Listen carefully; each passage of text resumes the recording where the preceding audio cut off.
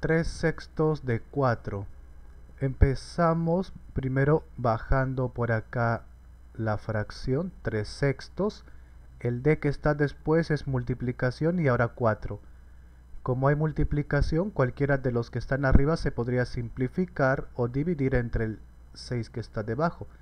En este caso simplificar porque ninguno de estos de arriba se podría dividir entre 6 de forma exacta, así que simplificamos 3 y 6 porque ambos se pueden dividir entre un mismo número, entre 3.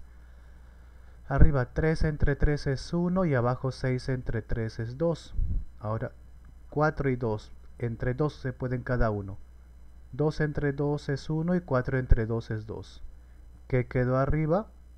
1 por 2 es 2 y 2 entre 1, 2 y esta es la respuesta.